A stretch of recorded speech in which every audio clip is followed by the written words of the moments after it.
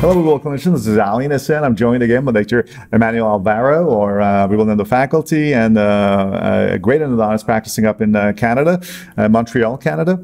And uh, Manny, thanks again for sharing some of the, your cases with us today. And this is, I guess, the last case we're going to be talking about, which is another pediatric case of of management of a tooth with a history of trauma. But here it's about the concept of preservation of the pulp and regeneration, which is as significant or as important, if not more important, mm-hmm. than treatments and uh, that involves root canal therapy and devitalization. So, why don't you go ahead and uh, walk us through this case? Well, here, this is a seven-year-old, a seven-year-old, nine-month-old little girl who had a trauma. And I know at that age, they, the, the months really count. They want to be. It does because like, I mean, they want to be eight. So, let's call it. You call them seven. They're like, no, seven and a half, or and and because they want to grow old. Exactly right. Uh, tooth number forty-one, or the lower uh, right yeah. incisor, central incisor, central had, incisor, had a prior trauma about 24 hours prior to this radiograph, mm. and uh,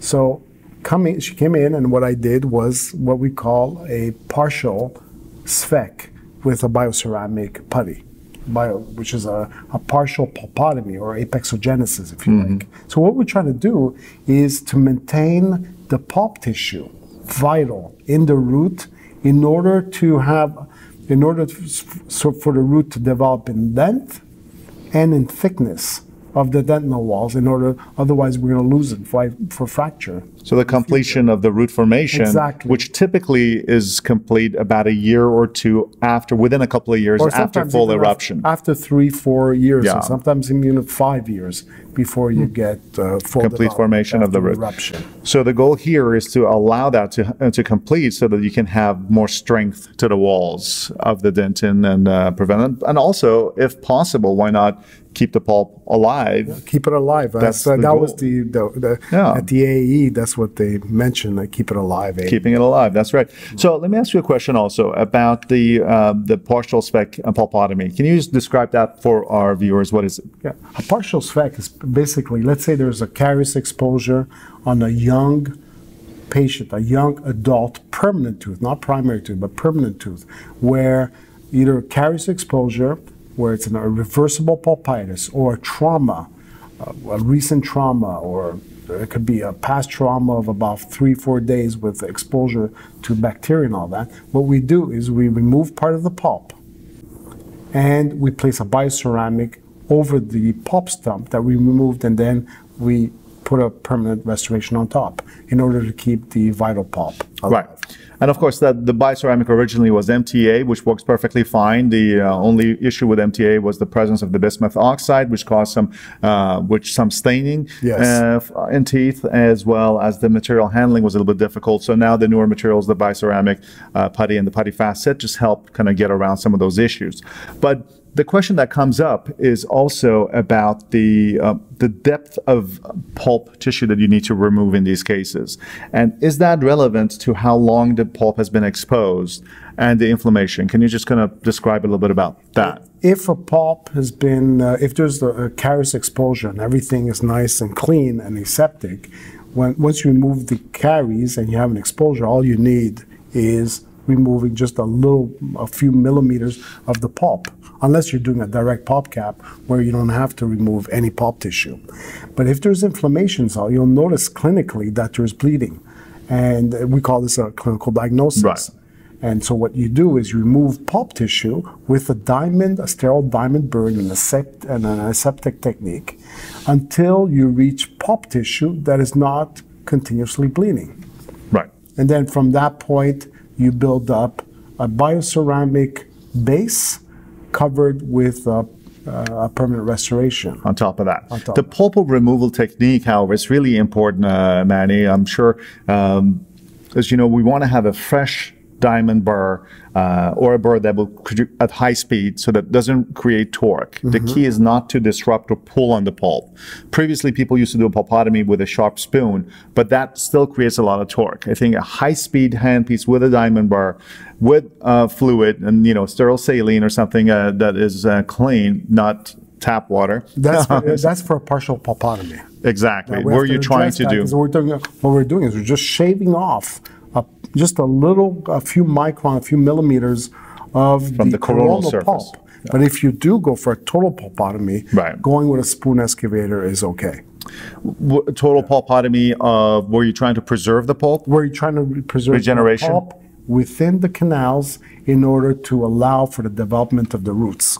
Right. And that's a complete pulpotomy. Yeah, I mean- pulpotomy. And then you put a. Exactly. I mean, These as long as you have a sharp spoon. A lot of times, Yes. if you look at the kits Yeah. where most of us have in the thing, the spoon has uh, been used, uh, you know, far too many times. It's fairly dull. Because the whole point here is, is you're basically spooning, or as you're cutting, that you're not pulling on the pulp. Because as you're pulling, then you basically are uh, rem- removing the, the, the odontoblasts from, you know, as a whole into the walls of the dentin, and that could be a problem. So the key is to, as atraumatically as possible, remove layers of the surface of the pulp uh, while still keeping it alive. So then, after you remove that, what do you use a solution? Do you try to lavage the uh, the, the, the pulp with uh, What I, well, what I what I use is uh, I use two percent sodium hypochlorite, and I just go in with a gentle irrigation throughout the area where I where there's the pulp stump, and then right after I clean out the sodium hypochlorite with normal saline. In order to remove all the residues of the of, of the sodium hypochlorite. And the key there, uh, Manny, is you use a sodium hypochlorite, but not too high a concentration that could actually be too cytotoxic. At the lower concentration, around two percent, so it could be two- I use a decontamination. 2%, yeah, and, supposedly at around that percentage, it Yes. could keep the stem cells alive or whatever. and and um, then you remove it with saline, so you don't have Yes, any, um, any residues. irritating residues remaining. But more importantly, as well, is the presence of a solid rubber dam barrier and primary and secondary isolation. Would you agree with that? You definitely, you have you need The to key is to get no bacteria No in bacteria in the area. Yeah, So then once that's done, then you can put your bioceramic, your putty. right. You can put a layer of bioceramic in there. Yes. And what if it is a, um, um, what if you see a lot of bleeding? Is that If a candidate? lot of- then if you see a lot of bleeding, that means that there's inflammation. If there's inflammation, you don't do not want to put your your bioceramic into tissue over tissue that's inflamed. So you, you have to go more apically and remove more tissue right. until you reach non-inflamed or clinically non-inflamed tissue, and that's where you put your base. to place the putty on that point. And um, terrific. So, and, and obviously, it's, it goes without saying, but for some people who may have not seen this, if the patient or the tooth is necrotic or is partially necrotic, this procedure is not an indication for that. This is vital pulp yeah, therapy. this is vital pulp therapy. Yes. If the tooth is fully necrotic, then in those cases you would consider doing either in a, in a tooth that's very immature, as in this little girl, Right. probably the first step would do a regen, Regeneration, right. And if that doesn't work out, then you would have to do a certain apical, an apical, artificial apical barrier, Apical barrier and a uh, technique, and yeah. canal treatment. After exactly. Yeah, terrific. Sorry to interrupt. Go ahead. In this case, this is 14 months afterwards. We noticed the nice, well, we noticed the restoration. Right. of so what they did is they placed the putty before that. Yeah, the putty facet was placed, and the restorative dentist followed that up exactly. by restoring the top of the This is a tooth. 14 month old Right. radiograph. That's terrific. So they did a great job with the The restoration, with just is composite beautiful, alone. Beautiful restoration. They got mamelons in there, yeah. That's really. That's terrific. nice. That's great uh, little shaping, and the apex seems clear, and root formation seems to have It's following continued. the neighbors. Right. So, which is kind of nice. That's what you wanna see. Uh, here we have a 26 month That's old, terrific. and we see the formation of the of the apex and the enamel, the nice composites. and the canines seem to be erupting well in that Yes, area. yeah, so it seems like, like the uh, yeah, that's a uh, wonderful, wonderful uh, result. And uh, is that the final X-ray there? on That is. perfect. So 26 month recall, and the patient's kind of following this up. was just uh, That's terrific. last summer. Well, Manny, this is a beautiful case. I mean, this, this shows sound judgment and decision to um, try to preserve the pulp in this particular case where it has a good chance of being preserved rather than jumping in there and doing root canal therapy. For instance, in this case, one would be misled by the fact that it was 24 hours of exposure. But just because there's 24 hours of uh, saliva exposure of the pulp, that only means that you should remove a few millimeters extra of the pulp. And, and the key here is the fact that the roots are open. When Yes. apical area is open, you have vascularity. In a younger patient, where you have vascularity and you have space, healing can take place like anywhere else in the body.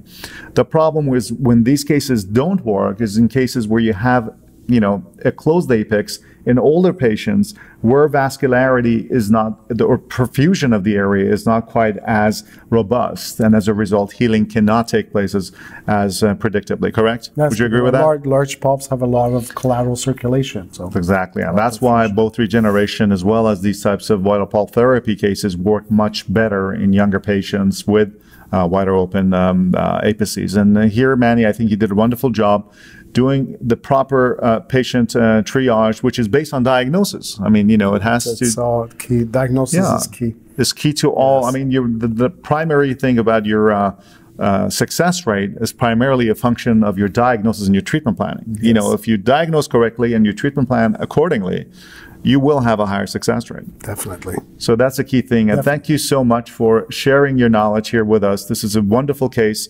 Uh, lots of other beautiful cases you shared this morning. I think it was everybody at the program was very impressed with all your cases. And I look forward to having you back here so we can share some more of those cases and have you share some more of your clinical knowledge with our audience. Well, I love being here in Boston. Well, man, it's always a pleasure having you. And uh, Dr. Alvaro and I went to school together here many Many years many ago. decades ago. So it's great to have you come back and share your knowledge with our residents and uh, with us. And I look forward to having you more here and uh, sharing your experience with our Well, it's a pleasure. It's a pleasure. Manny. It's always a Thank pleasure you. to have you. Thank Thank, you. you. for people that know. I'm Ali Nasseh and with Dr. Manny Alvaro from uh, Montreal, Canada. Um, and we urge you to save more teeth. Save more teeth. Keep them vital too. Keep them vital as well.